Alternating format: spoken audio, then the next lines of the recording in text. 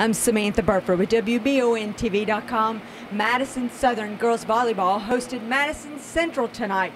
WBON TV Sports was there for all the action, and we got to talk to some of the coaches before the game.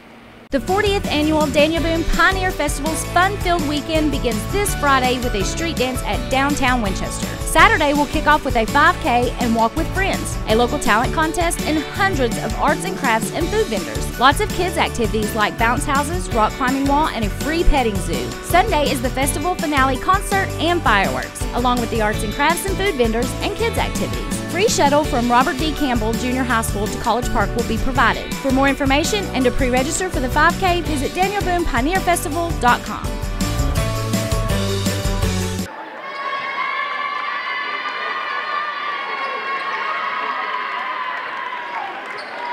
A lot going to happen tonight. Tell us about how they can step it up and help you in this cross-county rivalry. Well, all seven of our seniors are great leaders on and off the court. Um, they all contribute um, significantly, and they just we get up for this game no matter what, no matter who it is. It's an exciting game, and we just enjoy playing it every year. Tell us about the game plan tonight. What, what are your thoughts?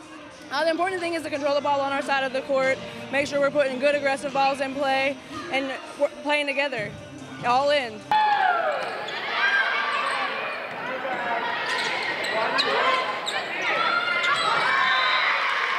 Coach, give us an idea about this county rivalry that you got, big district rivalry. What are your plans tonight against Madison Central? The, the plan is to play well. That's the plan, and overall, we're, we're uh, an inexperienced group. We've got some experience. It's just trying to get them on the same page. It's been up and down, and we're really kind of starting to hit our stride. So I'm hoping tonight, you know, it's a big game. They got a lot of energy. They'll be out there ready to go and play. How do you feel like your seniors are handling the uh, pressure of the game, the season, and uh, bringing their leadership Uh, experience? I, I think my seniors are ready for it. You know, they're they're ready for this game. They've been looking forward to it.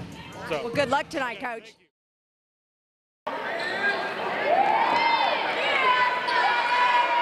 For more great sports stories like these, check us out on Facebook, Twitter, and WBONTV.com.